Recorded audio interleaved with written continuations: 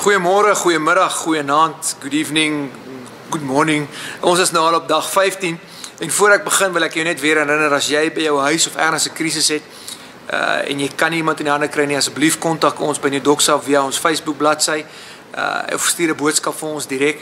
Uh, as ons jou ergens moet help of iets moet probeer, probeer reël, uh, we would love to assist you and help you if you have any struggles or you need anything for your home. Laat weet ons asseblief, ons wil graag help.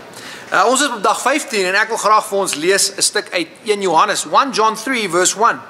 It says behold what manner of love the Father has bestowed on us that we should be called children of God. Nou as jy gister se video gesien het, so het ons gepraat oor daai dat dat God sy teenwoordigheid oor ons uitsprei, dat hy weet ons is net stof en hy kies om sy teenwoordigheid vir ons te gee.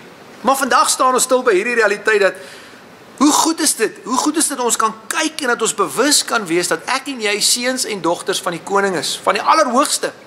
Ja, ons weet ons is ons ouers se kinders ook. Maar ek en jy is vandag koning koninkrykskinders. Ons is 'n seun en 'n dogter in die koningshuis en in sy paleis. En mag jy vandag met daai wete leef. Ek is 'n kind van die Allerhoogste. Behold what manner of love the Father has bestowed on us that we should be called children of God. Jy is 'n kind van die koning. Moenie vandag oorweldig oorweldig word deur smart en deur swaar kry en don't be overwhelmed by worry. Know that you are a son and a daughter of the most high God.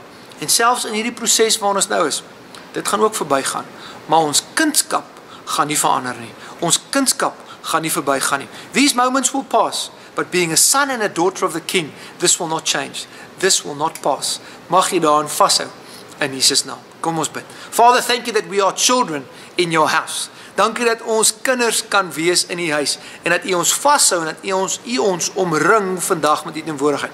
Dankie vir u groot liefde en dat ons kinders van God genoem kan word vandag in Jesus naam. Amen. May the Lord bless you. Mag Vader jou seën.